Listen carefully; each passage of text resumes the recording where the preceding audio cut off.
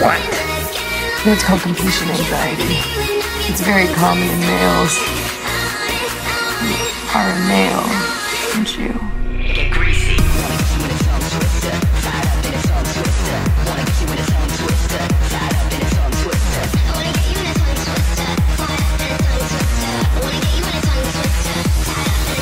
aren't you?